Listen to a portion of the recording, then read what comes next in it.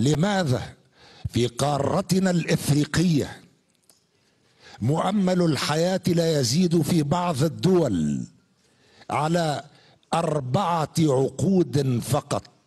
لماذا يموت الأطفال في دولنا الإفريقية من الجوع ومن الحروب التي يتم إشعال نيرانها؟